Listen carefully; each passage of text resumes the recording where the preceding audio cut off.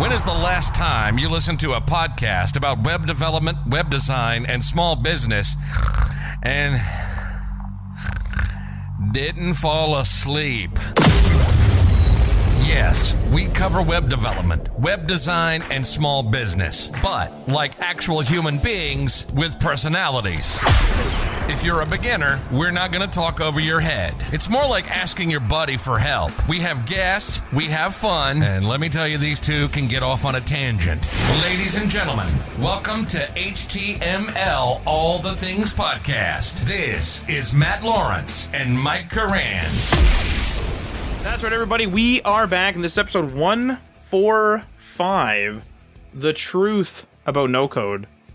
I'm Matt, that's Mike, and this week we'll be talking about no code the pros, the cons, the comparisons to actual developments, to like custom development, whatever you want to call it, the branding of no code, because no code's kind of like a, mar- a market segment now.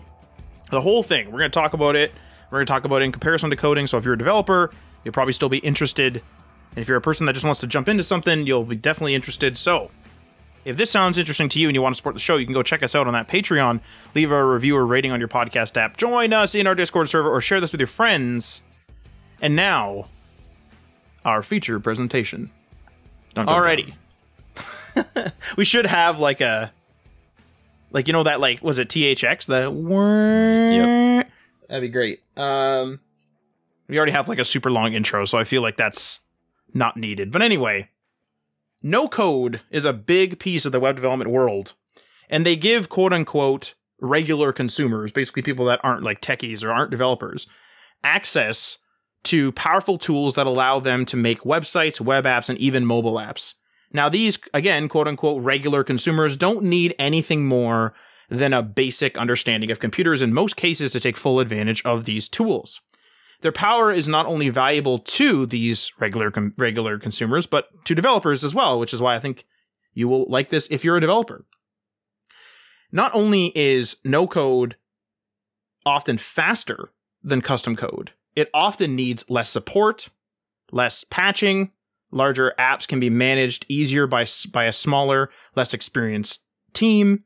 Now, if you're a developer, you might be rolling your eyes at the thought of this, like, oh, here comes the no code stuff. Here comes all this propaganda or whatever. Some people just, if, if you're a developer, you might just hate no code, but their value can't be ignored. Like, like take a look at what I just listed there. Faster, faster than custom code sometimes needs less support and patching, right? Just to reiterate here, and larger apps can be managed by smaller, less experienced teams.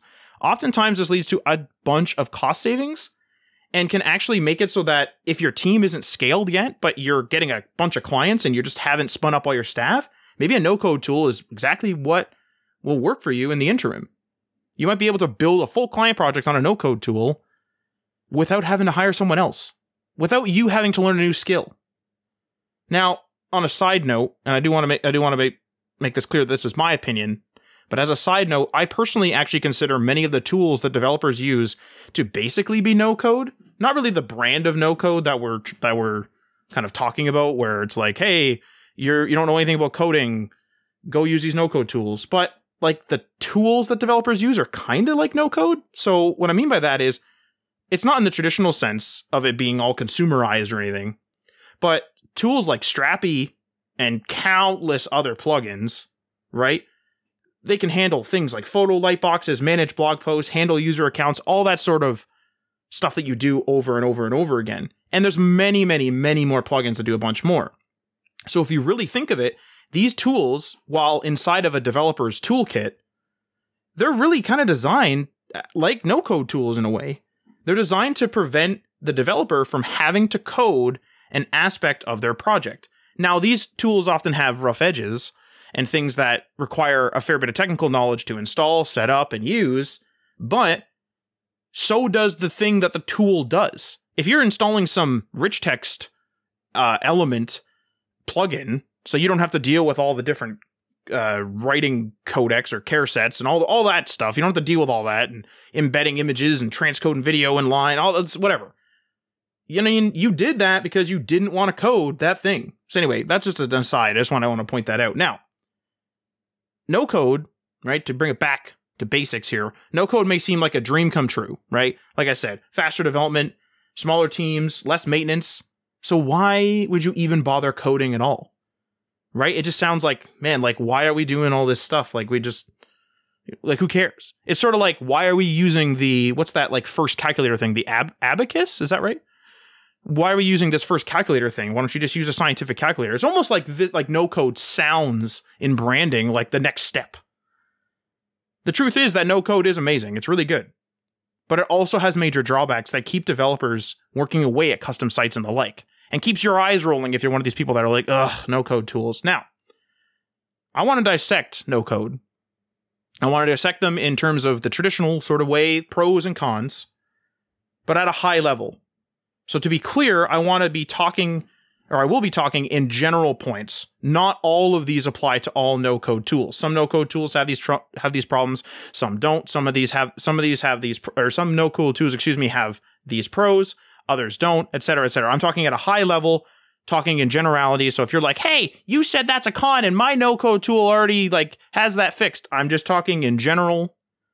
I haven't used all the no-code tools, not even close.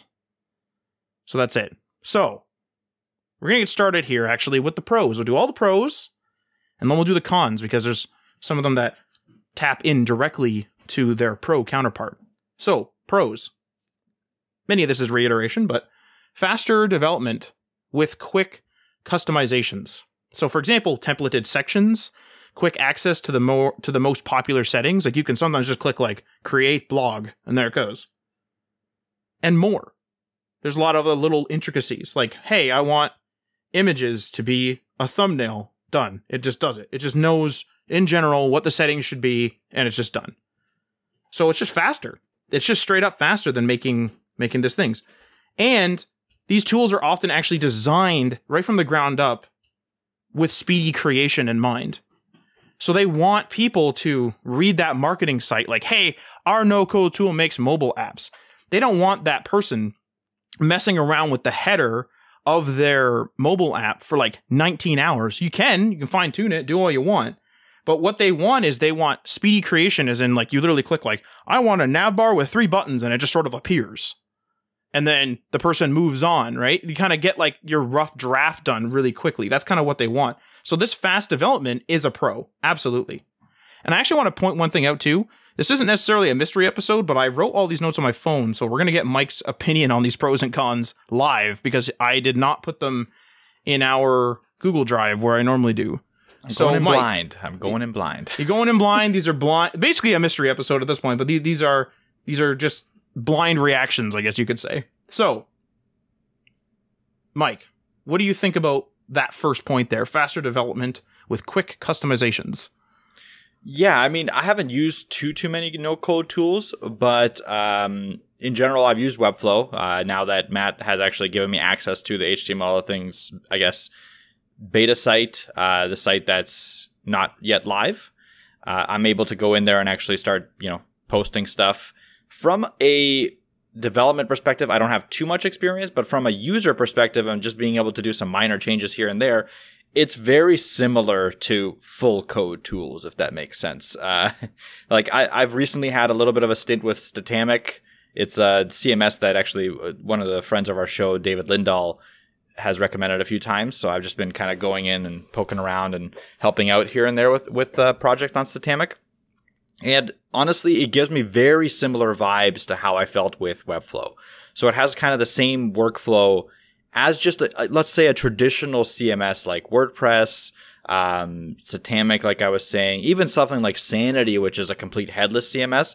When I'm going in there as a publisher, when I'm going in there to edit stuff, it gives me those similar vibes, and it's very quick for sure. Uh, in terms of developing something with no code tools, I think it it's going to very much depend on what you're trying to do. If it's a blog, like a generic blog, and you have a really good idea of a template that you want, it's not only quick, it could be immediate. like, I mean, bam, you have a generic blog. Yes, you have to change some titles and stuff like that, but that's the kind of stuff you would have to do even with code tools. Like, it could be something, you know, a hundred times faster than a regular, than regular tools.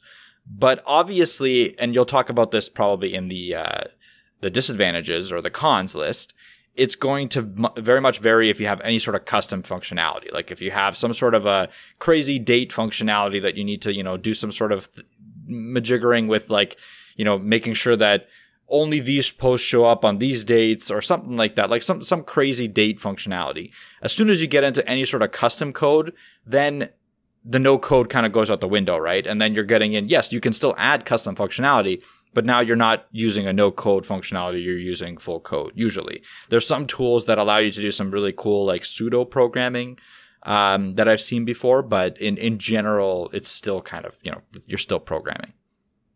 Yeah, and and actually that's going to be one of the cons, uh, and will be talked about in the pros and cons here uh, as an ongoing thing because you can obviously oftentimes tack on sort of custom code like embedded or however the no code tool handles it, but it's a little bit weird sometimes. So we'll be talking about that in the pros and cons here, uh, here and there as we go through. So the second pro here is administration and support is often handled by the no code vendor. So for example, Webflow looks after its own hosting and fixes issues that arise. So you, as the person that say made the u- local used car lots website in Webflow, it's up, it's live, it's but somehow the hosting goes down. I mean, you might get a you might get contacted, which we'll talk about in the cons, but you might get contacted by that used car lot and say, "Hey, where's my site?" And nine out of ten times, it's actually a Webflow issue, and they're already working on it. Now, this also does occur in sort of normal hosting situations as well, where if you're kind of hosting on something like HostGator or something like that, if their server goes down, you know, they have to fix it. It's not like you're going to fly to their data center or walk to their data center, depending on how close you are, and then actually go in there and fix the server. That's not going to be what happens. They're going to fix it. So this is hit and miss. But when you start getting on, a side note, it would be pretty hilarious if you actually did, you know, fly to the the data center and just start smashing on the door and so just start ripping server out two's servers. down. Yeah. server two is down. Yeah. So what the hell is going on over here? So like, because it's a whole other different uh, department. It's usually like a, a data center team, and it's usually like an um, closer to an IT team. But the thing is, is that with a lot of these tools, you know, when something goes down and it comes back up, depending on the complexity of your site, the the the other parts of it, you know, will have trouble. So if you're having some really big advanced web app that runs on like Azure, and let's just say all of Azure goes down and then comes back up, it's possible that your site will have some issues, and those those issues won't really be handled by the Azure support. And I mean, I presume I haven't used it myself, but I presume you could probably ask them for help. But it's like your setup on Azure, so like they're more or less responsible for handling Azure. It's the same with just hosting. Actually, I should use because I've actually used this used this before, where you know you go and you have trouble with your website some hosts like HostGator or whoever will will try to you know help you as much as they can. But at the end of the day, some hosts will just be like, "Hey, our infrastructure is working, our web server is working, everything's good on our side. Uh, we can't like we're not going to help you with your custom code." But when with a no code tool, I mean, short of you embedding those little pieces of code, they kind of handle everything. So if like one time we had uh, an issue with the embedding tool in a rich text element in, in Webflow. I mean, that was really up to them. Like, I couldn't fix anything. You know, I could maybe help my user, and again, we'll talk about user support in a bit, but I could maybe help my user do a workaround, but you don't have like that stress of being like, holy crap, the site's down. Like, what do I do? Like, how do I fix this? Like, what's going on? And, and all that type of thing. Um, mm. I think So I think that's that. a big I think that's a big positive actually of no code tools. Like getting rid of that cognitive burden of having to manage deployments, um, having to manage, and I think this is like the no code that we're talking about right now is more talking about like Wix, Squarespace, and Webflow because they do handle the hosting for you and uh, the DNS stuff. All of that they handle for you, and that is a huge pain in the ass. It is absolutely like it, it's you know it's easy to learn and all that, great, but even if you learn it, there's going to be some little cat gotchas, some little, you know, little things that you don't learn that are going to screw you up, screw you up a little bit. And when you have a service that not only handles the development side for you with the no code aspect, but the deployment side for you, you don't have to worry about a million different steps in between. Like when I was deploying the weekly growth calls application, it was like a lot of different spots. Like I had to deploy three different things essentially. I had to deploy, or two different things. I had to deploy the back end separately. So I deployed that on Heroku. I had to do, deploy the front end on Netlify. And those services are great and they're really easy to use, but I still had to look up how to use them. I still had to connect the DNS of my domain to them. Like there was just a bunch of things that I had to do just to get the site up. And I had to change the code even to make sure that it was compliant with how Heroku wants it, et cetera, et cetera. Like I literally had to do a bunch of work. I spent like a whole day doing the deployment aspect. And I budgeted that and I knew it was going to be that. But regardless, that's how long it took. With something like Webflow, it's built in. Like you don't have to take a day to deploy it because technically, as soon as you get it, it's deployed. It's on the site already. You just have to click like publish or whatever, and that's it.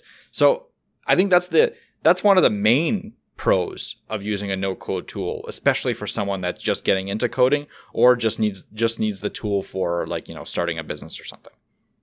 That's a that, that's a really good point. Is that it is it is a stressor point as well. And the thing is, is if you hire somebody like you're effectively hiring Webflow, kind of if you're using Webflow and you're paying uh, for like the CMS plan or whatever. I mean, you're you're effectively you've hired a, an IT team for really like what is if you consider it a reasonable amount of money per month. Now, Webflow is rather expensive in comparison to other tools out there, like different hosts and stuff like that. But the thing is, is that if you have stuff where like your text just will not display and your users are using the, the CMS correctly and you have, you on your side have used the CMS correctly, you contact Webflow and, you know, effectively they have to fix it you have an IT team there. And if you're a person that, you know, doesn't want to be working all the time, doesn't want to worry about those phone calls or whatever, or like is fine with picking up the phone, but doesn't want that stress of being in the position of, oh my God, what server's down? What is happening? Why is this database? Is this database corrupt? Do I have a backup? Oh, like, what do I do? That those worries are effectively gone. Now, sure you could say yeah but what if webflow goes down? Yeah but like what if all the servers turn off in the world? You know there's like there's so many layers to support and you know you're well covered when you use a no code tool that has a good support team that has a good uh, amount of popularity is a really good one as well is when when there's a lot of popularity usually the company that's hosting the no code tool will actually hire a lot of people. Or same with the host you know your host like we had a major outage in one of our hosts a few months ago and it was a major outage. Like it was a couple of days where like things were intermittent come and go hit and miss. But the thing was is that was the first time in something like six years that that happened and it was something they like divulged it. They said some sort of server went down or some sort of gateway went down and it was like the hardware. So like the hardware was just that's it.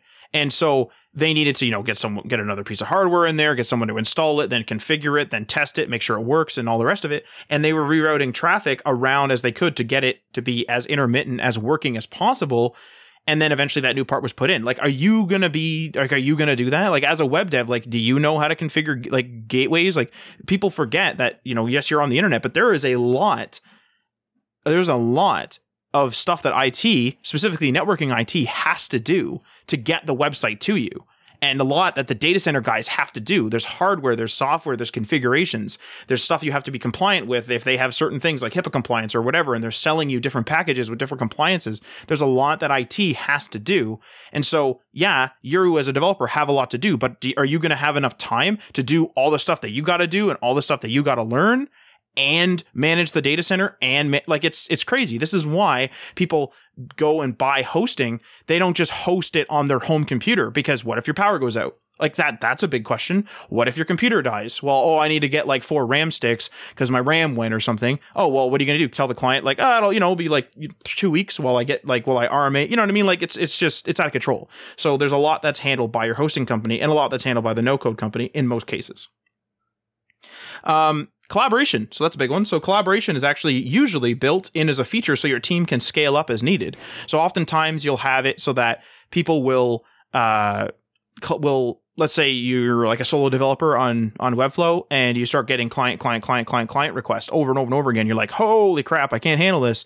Uh, you can there's like collaboration tools built into these these type of things. Like webflow is a prime example. Obviously we'll keep coming back to webflow because i'm using it so much these days but uh, Webflow is one of those those tools where like you can buy a team account and then start collaborating with people, and it's the same thing with it's the same thing with um uh, what would you say? It's the same thing with like uh let's say like Google Docs, you know, something like that, where it's like it's just that simple. Like collaborating on documents used to be a pain. Here, you know, send me the file you know, oh, like give me the memory stick with the file on it, right? Back even back further, give me the memory stick with the file on it. It was a pain. And then like, oh, I'll add my part, I'll save it. Oh, the document's corrupted. Oh, it won't open in my version of Word. But something like Google Docs or Word Online or whatever has cha- has changed the game in terms of being able to collaborate on a document. And in that same vein, a lot of these no code tools actually use this sort of uh, mantra or whatever is the word I'm thinking of is like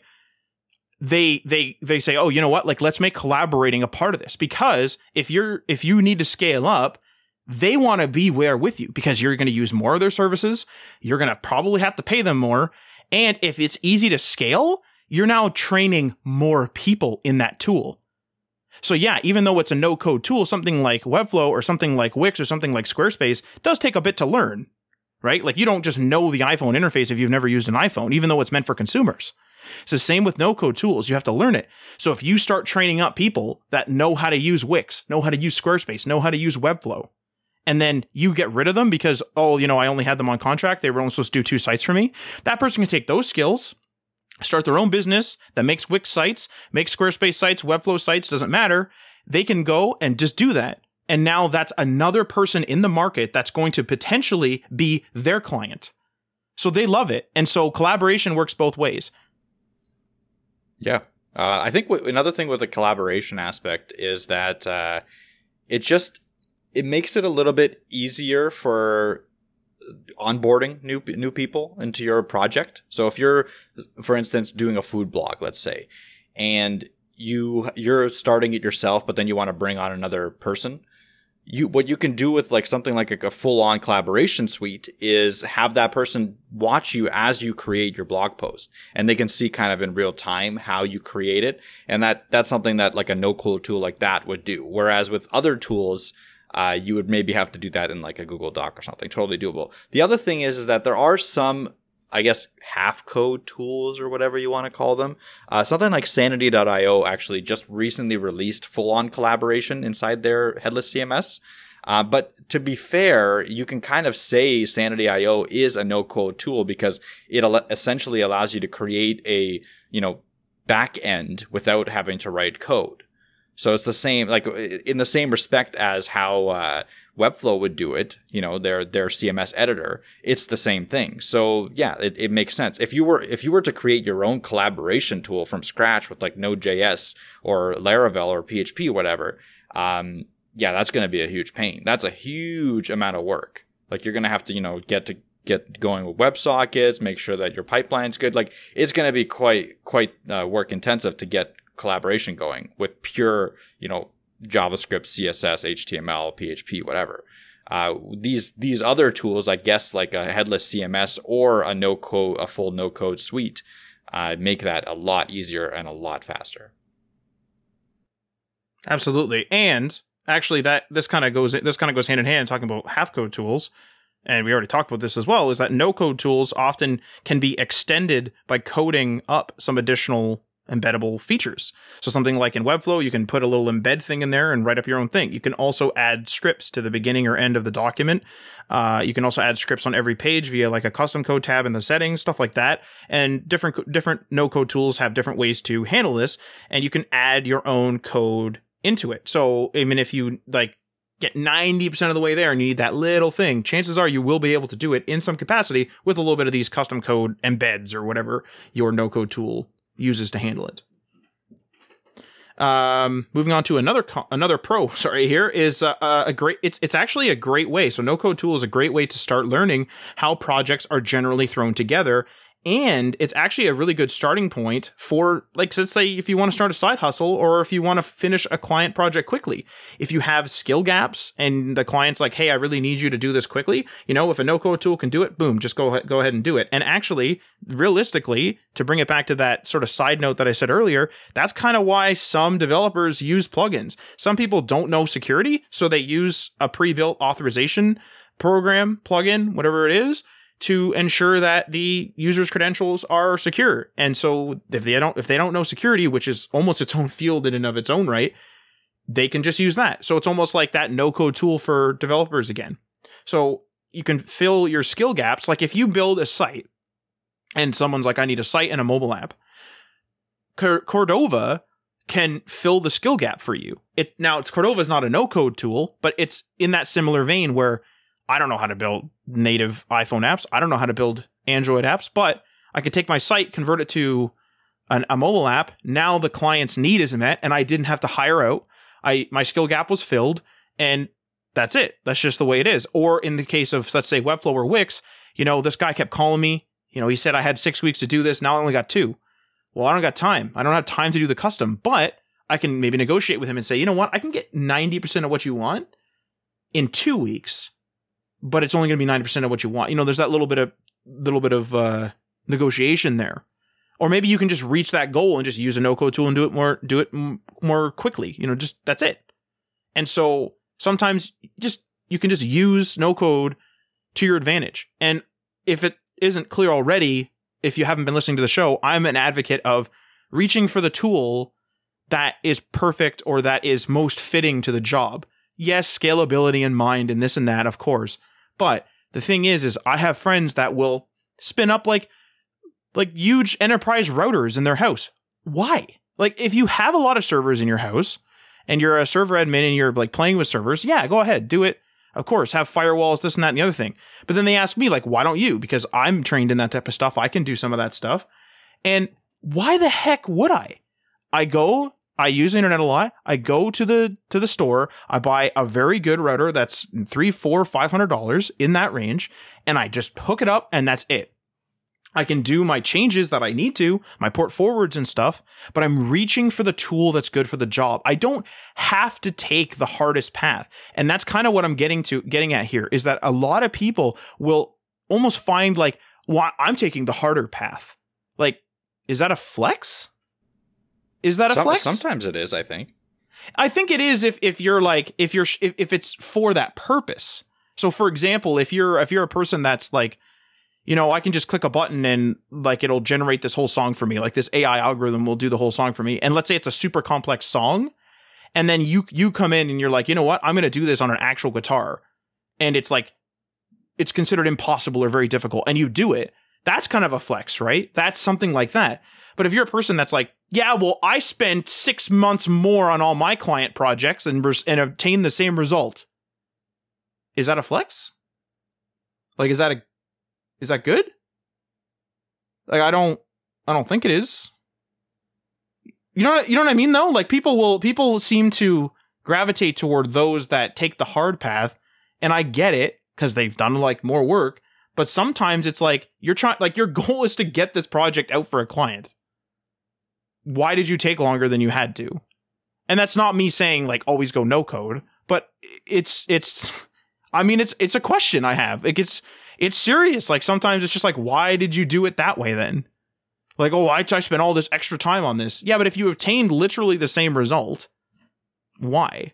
So uh, that that's just that's just my two cents on that. So like another thing is that a lot of people will kind of go against their clients' personality or go against their clients' wishes because they're more used to something or they're just uh, they're trying to learn something whatever. Like for whatever reason like they, they like to overcomplicate things maybe not that way but like they they like to use these set of tools even though it's not conducive to the client's way of working. Because if a client came to us or to me or to whatever and said that like he wants to be able to tinker with it he wants to be able to learn about like the the systems they want to be able to like uh change a lot in the site on their own that to me immediately screams no code. You know what I mean? Like we've had that situation. In fact, that's exactly the situation that led us down the Webflow path. Is someone came to us and it was like, I really want to have a site that I can control as much as possible. Like they've used WordPress before, it wasn't up to their standards for what they wanted to accomplish, and like together, we like the whole team decided, hey, let's do no code, let's do uh, Webflow as a no code tool yes, it's it's like it's still a ramp up, but it's a ramp up that's possible. So there is a lot in Webflow that's actually pretty complicated. And another kind of I would say positive of Webflow is that you can actually use it as a way to learn the basic, you know, layout layouts in HTML and CSS. It's a no-code tool that's very much a visual programmer rather than a no-code tool that's just like a drag and dropper. Um, there is some drag and drop, obviously, but most of it is a lot like you know float or uh, Flexbox and all the nomenclature that you would need to then take and transfer to a regular CSS document. So it's a really interesting kind of paradigm in in, in the web development in in the web development industry that kind of bridges that gap between maybe something like a Wix and a Squarespace and something like a Square, uh, a WordPress. It's like it's somewhere in between more than anything. But again, back to the point where if a client comes to you and you can obviously see that they would benefit from a no code experience and a like it would save them money b they would be able to manage it on their own and stuff like that yes maybe that's not the best project for you but in the end of the day especially when you're starting out you're trying to get word of mouth you're trying to do as much as possible so that the client will recommend you and will have a good experience with with you as a web developer so it doesn't matter what tool you use as long as you reach that end Yeah, I mean, I mean, I think you summed up. I think you summed that up well. And the thing is, too, is is like to kind of go back to the point of you know you're not you're not going to go uh, or some people won't go with the flow with their customers. I mean, sometimes there's a reason for that. We had a couple clients that were like, or yeah, we had a couple clients that actually asked this, so where it was like, hey, like. I know you're working for me, but like, why don't you train me in your industry and then I'll offer the same service in the same area? And I was like, so you want me to train you as a competitor? Uh, no, I think no but you got to do it for free that that was a thing too. Is like some people are just like some people will just say like, hey, like I really need this. And I'm like, okay, yeah, well, okay, like you know, fifty dollars or I don't know, hundred dollars, hundred dollars an hour, I don't know, whatever the heck it is. And they'll be like, well, I really need this, and I really need money. I mean, not to be blunt. Well, it is no uh, to be blunt. You know, Yeah, to it's be like blunt. to be blunt, like not to be a jerk. I guess is what I'm trying to say. I'm not trying to be like that capitalistic, you know, like screw you. But at the same time, it's like, okay, I, screw you like, like, like, like, yeah, like really, like it's like effectively, you know, it's just sort of like I'm not like some things you're just not willing to do. There's a line, and you don't you don't literally say like f off to the person or whatever, but you just sort of say like ah, I'm not going to do that, or hey, we don't offer that. Like maybe go to this guy that'll maybe teach you, or hey, go to this YouTube channel, learn how to do it, or like hey, you're gonna have to ch- like you're gonna have to uh, pay me for the lessons, or like whatever. Like there's just some things like that where you're just sort of like eh, like I I'm not willing to do that. But like if you're willing to train them on how to use the WordPress editor, like of course, like go ahead, that type of thing. So it's just it's up to you. Like there is a line sometimes where you're the customer. I know that the the the the mantra. I'm using that word a lot. I don't even know if I'm using it right, but the mantra is like, hey, like the customer's always right. I mean, ish is my is is how I handle it. So I'm like, yeah, like kind of, you know. Uh, so that's just that's just my thing. Um, okay. Last last pro here, and then on to the cons. So um, if you're motivated by a project and not developing programming skills, then no code can get you started and even get you up and running for years to come. The barrier to entry is way lower and way less intense than learning to program, then chasing that project that may not work out. So if you're a person that really wants to go after a passive income initiative or you're a person that really wants to make a blog and you for some reason decide, you know what, I'm not going to use WordPress, I'm not going to use WordPress.com, I'm not going to use, you know, I'm not going to use any of this. I'm going to just straight up like learn to code. Like, why? Like, you're learning to code not for the sake that you want that skill. You're learning to code just for that project. Well, that project might not have legs. And if that project doesn't have legs, now you've just learned to code. And now, like, like, what are you doing? Now, if you, if you, have a goal to also learn to program, it makes a lot of sense. But a lot of people just want to start their own blog or they want to start their own whatever, some sort of side hustle. Even a mobile app, like I said, even a mobile app these days, there are no code tools to make mobile apps.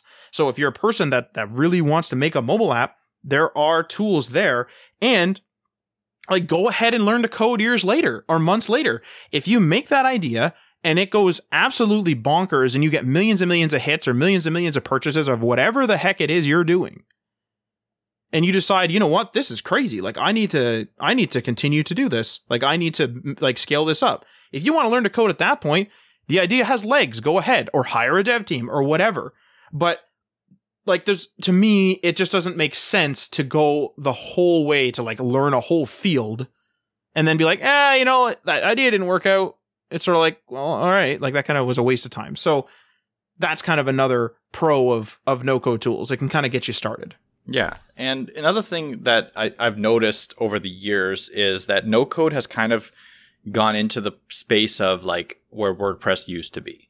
So WordPress used to be for people that wanted to quickly get started without having to, you know, learn development and they would just get a template and start it up and then it would eventually get into the point where like the template was just a disaster and they could only do a very minor amount of things like and stuff like that. So a lot of the times when my friends would come like talk to me and they'd be like, "Hey, how do I start my own site? Like I don't really have a lot of money. I just want to have an idea and that this is what I want to do."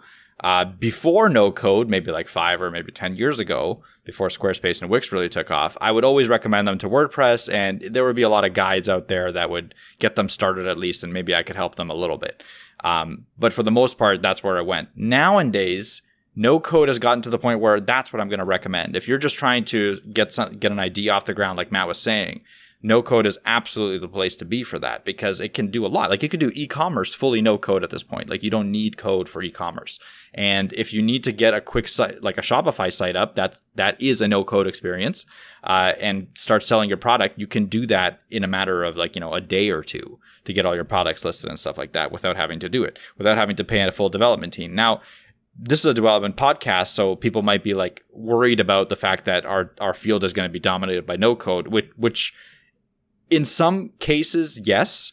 If you were if you were the kind of developer that was only doing business card sites and small little blog sites, like very small potato site stuff, like five hundred to thousand dollars or something like that, yes.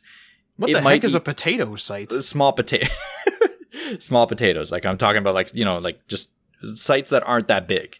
Oh, they, oh, like their scale isn't. Yes, their okay. scale is small. Yeah, small potato. Any, anyway, so if you were doing one of those sites and that that was your like you know forte and you were only doing those, then yes, potentially uh, this no code movement could eat into some of your sales. But for the most part, anytime you start talking about larger projects and the projects where you know web developers actually can make decent decent income, those will not be able to be solved by no code tools in the in the near future. At least not in a good way, you know what I mean? Like it's always going to be a lot of compromise that you're going to have to do. And usually when a team has the budget and has the expert like the expertise and has the leadership, they're going to turn to a development team and you know what? In my opinion, it's going to lead to better jobs for developers rather than having to be stuck doing like really shitty websites that are kind of boring to do at all times. So I don't think it's a problem. I think it's actually a solution to a lot of problems where, you know, if a friend comes up to you and asks you to create them a site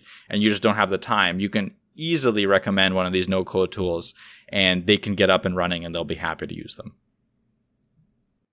Yeah, that's a good that's a good way to put it too because as a as a person with a skill, you always have somebody coming to you and asking for help. And like whether you're a carpenter, you have people that are like, "Hey, I need new shelves put in," or you're a web developer, "Hey, I have an idea for a website." And sometimes, you know, they can you can point them to something that they can help themselves. So you don't if they don't have a thousand dollars or they don't have fifteen hundred dollars or they don't they don't want to pay you, and you don't have the time to help them and you don't want to help them, then you can just say, "Hey, man, like like here like here's your help.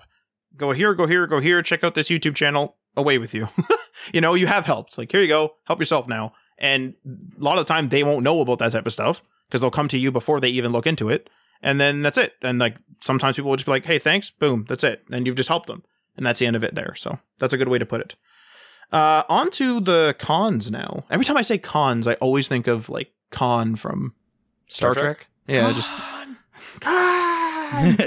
um i there is a scene i remember this is like a really random tangent but i remember i like one day i was just like you know what that's it and typical me and i decided i was just going to watch star trek the original series and i did the whole thing and uh minus like two of the movies i think but anyway so i watched the whole series whole series including the animated series don't watch that um i there's one episode in there that like it's the second worst piece of media I've ever watched. The rest of the whole animated series is actually okay, but there's a there's an episode in there where I can't believe it aired. Like I just I can't I can't believe it, and I just anyway I'm not gonna get into it because we can have a whole podcast about that one episode. I just it's incredible how much I didn't like that episode. It's just like wow, bad writing and bad animation, good, and it didn't make sense, good. So uh, anyway, we're not gonna we're not gonna go there anyway. But the rest of the show is is fine. Go ahead and watch the rest of the animated Star Trek original series animated series. But anyway, um, I forget what the original point it was I was gonna make. But anyway, apparently I watched that. That there's my tangent because I forget the point. Uh, that oh, I remember the point. Do you remember the episode, Mike? Did you watch that series? You watched it, right? the original Star Trek series? Yeah. Uh, you know what? I recently started rewatching it again, and I stopped after like the third episode, I think. So Okay, so I don't know how early it is. Maybe you did see this because I think it's relatively early. Did you see the episode in which, and this is a spoiler, um, for when Kirk gets split in the transporter? yeah, So when he like it's like he has his like positive it's not like evil and good it's like his positive motivation and his negative motivation. So it's like the piece of him that would you know like all of us if you have like a thought about something you'll have like a really pessimistic or an evil thought. Like all of us like process thoughts in like good good bad whatever all the rest of it. So like his like unmotivated angry part or something was made and like then that like so that was one kirk and then another kirk was like all his positive motivation but like your mind needs both i guess is what the show was trying to say and i watched that one scene where he like walks around screaming i'm captain kirk i'm cap that that one you remember that one Yeah, that's a famous one Yep, yep. i was on the floor and i kept like i found it on youtube so i could watch it quickly for like a week i was on the floor laughing so that's uh yeah that's one of those videos for me it's oh man, it's so good. It's just it. Oh man. Anyway, that's a really random tangent, but uh, but yeah, go watch the go watch Stargate. Stargate. Yeah, go watch that too. Okay. Uh, back to the cons here. Support and administration. Now I know that I know I said that this was actually a pro, but again, I'm going to tie in some of the pros with the cons. While this is typically handled by the no code vendor, and when I say no code vendor, I'm going to use that a few times in this con section. I'm talking about the person that made it. So like Webflow, Squarespace, Wix, the company basically. So support and administration is mostly typically handled by the no code vendor, but it still has to be handled somewhat by the creator. And if you're not versed in support, interactions can be clumsy with your customers. So for example, customer calls you and says, "Hey, how do I log into this editor?" You kind of got to be ready for those type of questions, whether you have a knowledge center that written up and you can send them a link or whether you know where to send them the link to or whether you know how to help them. You just got to kind of be ready for those type of support things because those type of things, you know, I guess you could pass it on to Webflow or could pass it on to whoever, but you're not going to. So that's just be ready. Basically, that's one of the cons is that it's easy to overlook those type of questions, and then you're just like, oh crap, I actually don't know, and I'm like not at a computer, like I don't know where that link is. So you might want to be prepared with making your making. Uh, so like a, a prime example is we had a customer that goes went on to a uh, an email service and they just couldn't or like I just couldn't remember where this link was to their email settings. I just couldn't remember. And so I was like, you know what? I keep sending them email after email after email with the thing. Like I keep remembering or keep reminding them. And when they ask, hey, what are my email settings for an email client? And this information was already public, you know, short of their usernames and their passwords. I was like, well, why don't I just make a web page on our website and then just give them this web page because this all this information is public anyway. It's on the vendor's site, but I just can never remember the the vendor's link. I'll make it a real easy to remember link for myself. I'll bookmark it, whatever. And then whenever they ask a question, I can just copy the link, send it to them in an email, and it's just much, much quicker. And I can add add and edit details right there so that if they're a person that's like more independent and they won't they won't ask me, they'll bookmark it themselves, then they can just refer to that and get the most up-to-date information. So that's exactly what I did, and it worked out immensely well. So just like a little tidbit there. Um next next con here. Scalability has its limits preset. So, for example, if you have the highest, or if you have a uh, Kanoko tool that has the highest plan, like the gold plan or whatever, and it says you can only have 1 million monthly visits, then that's it. That's it. It's over. Now, unless you can go into an enterprise plan and broker a deal with the vendor, that's it, man. So, it's not like Azure where you can just like keep growing and growing and growing. And yes, there's a physical limitation of everything, but you're not going to overtake every server in the world. You're not going to overtake Azure, uh, or chances are you won't. So, if you if you expect big numbers like that, or you start getting close to that, you might have to just leave that no code tool altogether, which may cause you to have to build out a whole thing. But I mean, if you're in a niche and you're just sort of like, I got like 400 members on my membership site, I mean, you're not going to hit your one monthly visits probably. So, just something to keep in mind. That scalability is preset. arguably for most people they're not going to hit those monthly limits. Like if you're if you're building a, a- an app that's meant to hit millions of people then you better have a budget of like millions of dollars for the marketing to get those millions of people. This is where like a lot of these like half-baked ideas always fall apart for me.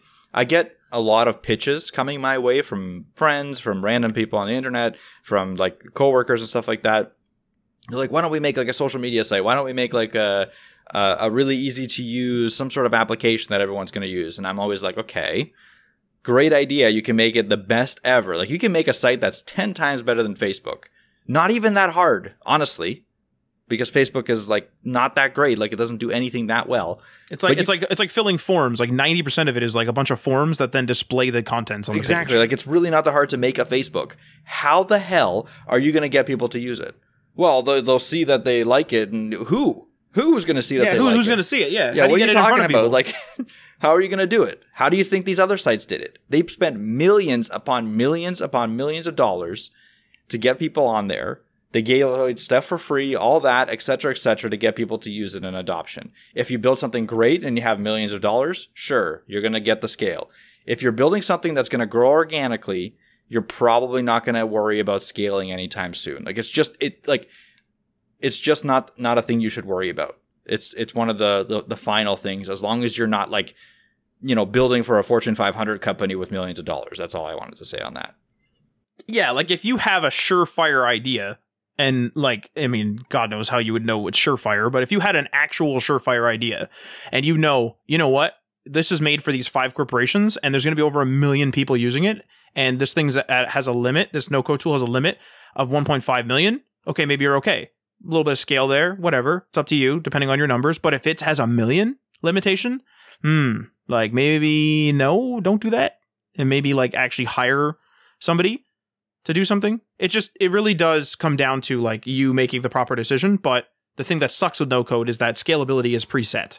So that's one thing. Because the thing is with with scalability in in normal hosting, you know, you'll have issues where hey, you know, the the site's slow. Hey, you know, the site went down because we hit our the uh, maximum size. Like we had 10 gigs of web web space or whatever, and we used it all. And now we need more and whatever. Like there's always like issues like that. And the thing is, is like with a lot of hosts, there's limits set too. If you just talk about not a no code tool, but just a host, oh, I'm on shared hosting. Well, shared hosting has unlimited, but like there's an agreement there that says I can't use way more than everybody else due to fair use. And if I don't have, if I don't like uh, abide by this fair use policy, meaning like if everyone on the site, if anyone on the site's using 100 gig and you're using 200, eh, like you might get flagged and they might be like, hey, you're using more than everyone else in this shared pool. You need to use less. There's stuff like that out there. And so that's kind of like a roughly set scale but then you can also talk to them and say hey you got most most hosting people will say hey you got a you got dedicated somewhere oh yeah we got dedicated okay upgrade me to dedicated and they might handle it for you so there's like there's definitely like predefined scalability. Uh scalability is also a huge part of like cloud computing. So you could like buy a scalable thing where it's like i'll just pay for how much i use per minute per second per whatever per day whatever it is. And then you can go with that. So it's just with with no code it's just very very cut and dry. Million hits. That's it you know? Then then then what happens? Who knows? Like i don't know if the site would shut off or whether they would tell you hey you've outgrown us. I don't know. I've never actually seen anyone outgrow a platform like that but I do know that Pat, uh, the Passive Income podcast, Smart Passive Income podcast of Pat Flynn, I remember him mentioning in passing one time, so I don't know the full story, but he used to use Bluehost for one of his sites. So I think it was maybe his main site. And then he he said he outgrew it. So I presume he like outgrew the Bluehost. Now, whether he still uses their dedicated if they have that, I don't use Bluehost, I don't know. But like even even stuff that's like not as no code as what we're talking about does have scalable limits, but no code is pretty set in stone unless you can negotiate with the vendor. Uh, okay, next one. Next con here is um, feature limitations are also set. So, for example, if you want to make a Webflow membership site and you do not want to use third party plugins or services, like you just want to train your staff in Webflow, you're out of luck. Done. You're already done. Uh, there's like a third party plugin or third party service or something that I saw once, never used it, that says that they can you know make your Webflow site a membership site, and there's obviously ways to like plug it into it and all the rest of it. But if you're a person that just says like, "Hey, we want to be in the Webflow ecosystem," and that is it, you're done. You're already done. Uh, you just can't do it. So there's those hard set, like I said already before, the scalability has those limits, and now your features are also limited. Whereas if you're making something custom, you're limited only by your skills, and even then you could hire someone to make that mm, I don't know, that transcoding app or something, and then your videos will run better or whatever. So that's another limitation. That's what these here's here's where no code starts falling apart. It's the when you start bumping up against these walls, you kind of start getting into problems. Now, another con here. Very small details uh, can often uh, not be changed. So many no code tools have customization. Of course, they do, a lot of it, but not infinitely customizable. So, you know, you could, if you wanted to, I don't know why you would do this, but you could make your button on your site one by one pixel. you could in custom code, but in a lot of no code, it'll say like buttons must be 50 pixels wide or something. Not all of them, but some of them would and then you just can't do that for some reason. Now, why again? Why you would do that? I don't know. Maybe you can't use pseudo classes. Maybe you can't use certain like really niche like CSS properties or something like that. Maybe there's something like that. But the point of the matter is, is there again? There's those limitations. You're bumping up against these walls. That's kind of the trend in the cons of of uh, no code tools. Is you're you're kind of in that walled garden, I guess you could kind of say if you bring it to the Apple sphere, is really that you're kind of you're in that walled garden and you can't in this case, you can't leave, or you've been bumping up against the walls here. Now, no code can be difficult to extend with custom code. Now, I know in the pros, I mentioned, hey, you can extend with custom code. So you might be saying, with all my other feature limitations, you might be saying, like, hey, but yeah, but like I know how to code and like I can add all these things. You're you're right. Kind of. You can extend stuff with custom code. But here's the thing. Because your custom code can be anything, the no code platform isn't necessarily going to be compatible. So here's the thing if the no code platform has a blog plugin just built right in, blog template, you click blog, that blog template is built for that platform. Built for that platform, it's built for that platform CMS, it's ready to go. Ready to go. But if you're if you're starting to embed custom code, they don't prepare for your custom code because they don't know what your custom code is going to be. So your custom code might work in a in a browser, vanilla browser, like just regular everyday. You put it in an HTML, like you made it all custom, and you put it in. Your JavaScript might work perfect, but your JavaScript might not work in that in that no code tool. So you might be stuck with a not having the feature that you want, or b you might have to do some workarounds and kind of massage it, as some people would say, to try to get it working. You might have some of that, and Mike and I actually have already experienced that a couple of times in Webflow just some things where it's like, damn, we can't do this. And just, you know, hey, there's a workaround here. You know, we'll apply that in a future version of the site, or like as we as we slowly uh, evolve it. That's one thing that will plug in from a third party source or whatever. But that's definitely something to to keep in mind is that even if the no code tool says like, hey, extend your code with custom code, that's correct. But it's very possible, not guaranteed, but very possible that there will be limitations in that.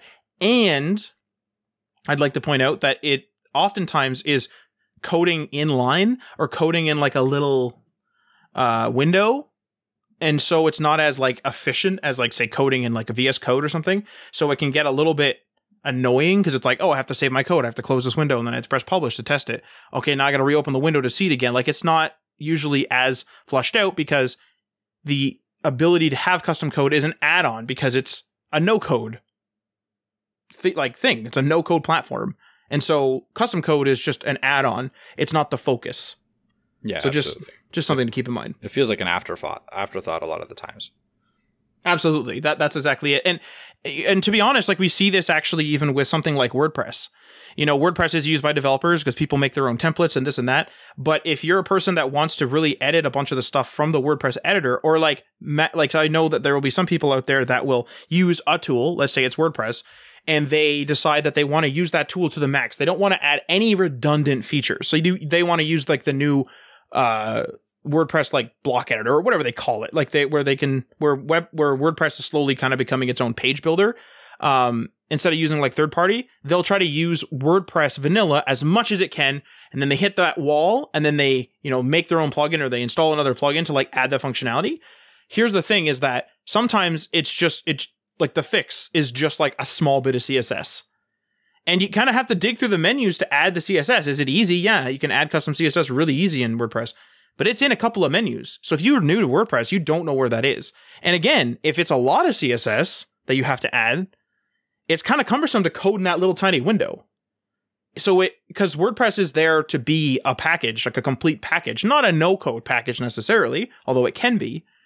But it's not there to be a coding tool, if that makes sense. It's it's meant to be like a coding companion ish. Like WordPress changes as as you install plugins. It can become this all inclusive, really easy to make pages thing, or it can become just a companion to your development, where you just want all the blogging features of WordPress, but you're going to make a site custom all around it and then plug it into WordPress. So then you coded it, right? So WordPress is sort of malleable like that. But in terms of making it a no code tool, having access to those little embedded things is nice, but it's kind of like annoying. it's kind of annoying. And I noticed that some plugins will be like, oh, make your own CSS style sheets or something. So then you go and you make your own CSS style sheet. But then there's also the custom CSS part of WordPress where you're able to add that yourself. So then if two different developers go in and they're just sort of like, oh, I'll just add some CSS. Now you might have conflicting CSS in this random other plugin that the other developer doesn't even know exists. And it's like this now there's like two areas to have custom code and they're like conflicting and it's a whole like definitely uh, we've definitely seen it and there's definitely been problems like that in the past. And so it's just it's just one of those things. It's just one of those things. Yeah. Yeah. The other thing with uh, coding inside of like a no code tool is that it's really not conducive to learning as a new developer. Like if you're a new developer that decided, hey, I'm just going to use a no code tool and then I'll learn on top of that, um, like how to do JavaScript or something, it's going to be a little bit more difficult for you to do that rather than just like, you know, coding in a regular IDE or coding in just starting a site from scratch. It's just it, it's because of the cognitive like thinking of how the editor works. It's going to be different for you than for the person that developed that no code tool. Like they have a they have a system in mind and it's very complex usually because they have to adapt to so many different ways that it can be done. So there's like a million built-in systems that they're using. So when you're trying to extend those systems, you actually have to plug into what they already have created. So you have to learn all of those, like not all, but a lot of that infrastructure that they've already done to be able to then extend it. This, is more for building like a plugin on top of a system rather than for just doing like a very, like a simple, like, you know, JS inline, whatever. But regardless, if that's your kind of path and that's what you're thinking, I just wanted to get that out there that it's not going to be the best way to do it in my opinion. Like if you're just going to be diving into creating Webflow plugins or I don't even know if they have a plugin infrastructure or like Wix plugins or whatever, it's just like you're going to have to learn not only the coding aspect but the actual how they manage their file structure the infrastructure how they plug into all their built-in features and how you're going to plug into that. So it's a whole overhead that you wouldn't have to learn if you were just like you know having an html css and javascript file. Yeah. Uh, i mean and that that actually ends all my uh, all my cons as well. Um cool. yeah I mean, I think we've uh, basically encompassed no code. I'm sure we'll talk about it way more as we as we go, as we try new no code tools and stuff like that. But uh, I mean, I think we've uh, completely uh, beat it up today, or at least anything that I wanted to cover. And uh, I mean, I think it's on to the weekly weekly growth goals, Mike. To be honest, um, what do you what are you doing? And what's your status on the weekly growth goals? Now, I will say one thing is that we're doing episodes, and I said this in the previous episode, is that we're doing episodes so that we have a week of lead time now and so we've like like reset now. So we're just we'll just be like going through our weekly growth goals but we'll probably end up being like a week behind you guys if you guys are sort of following along with your own goals.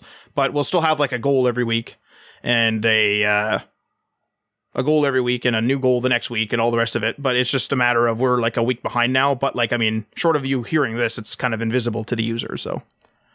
Yeah. Not only that you can actually check what we're doing on the weeklygrowthgoals.com app and then you'll be like in sync with us. So if you're curious what we're up to a week ahead of time, just check out that app and you can participate yourself and put your own weekly growth goals in there and stuff like that. And then this is my like weekly reminder to get Matt to use the app because he's been he's not using it. So uh, Matt, use the goddamn app, please and thank you. Uh, Jesus, so Murphy, every, hear so, the language on this on yeah. this man. so that I mean, everyone can see much. what you're doing. Uh, so yeah, uh, my last week's weekly growth goal was uh, doing like just really interacting with Twitter. So I decided that I'm going to follow this new strategy that I heard about. It's eight, do at least eight posts on different people's Twitter, like comments, eight comments on different people's Twitter accounts a day and then post like at least one of your own original ones. So the one original one is actually not as important, but I have been doing that at least. And I've been actually doing way more than 8, I would say. I've been I've been posting all over the place on Twitter. So Uh, that's something for everyone to look out on. If you haven't started following us on Twitter, we're at HTML Everything on Twitter. It would be awesome if you could follow there. I'm going to be trying to provide some value content on the daily basis, whether that be like some code pens or some uh, interesting things that I found or just some musings of my own. So you can definitely check us out there. Uh, but I am going to be interacting heavily with the community. So if you're already on Twitter and you have a com- established community, uh, just let me know. Like, let's connect and we can kind of do some collaboration or something like that. Uh, but for next week's weekly golf goal, I think I'm going to go in a little bit of a different direction, and um, I think I'm going to do a blog post for next week weekly golf goal. So I have done like a, few extra blog posts over the last month or so. So I kind of want to continue that trend and just really get a lot more content out there, especially because we have the HTML Things website coming out anytime now, really. Uh, it could potentially be out when this episode is out. I doubt it, but it's possible. Uh, all we're all we're really doing now is filling it with content. So I feel like that's probably a good thing to do is actually provide a piece of content.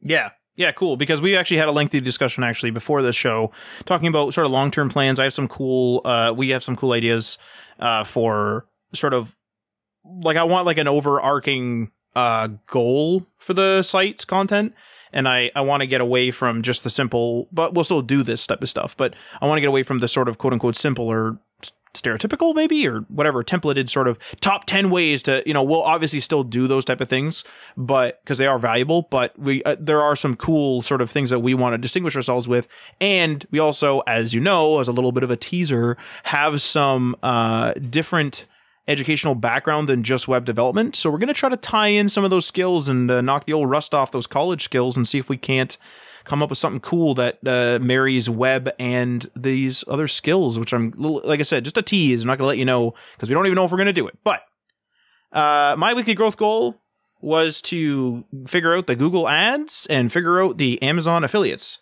Uh, I ended up doing the Google ads. They're ready to go and I can embed them. They're working. That's it. I haven't embedded them yet, but like just wanted to get the account sorted. That is sorted. The Amazon affiliates, uh, I did not do, and the reason why I did not do that is because I decided to do a little bit actually more work on the HTML All the Things website because I don't think we'll be using affiliate links quite yet. We may, I don't know yet.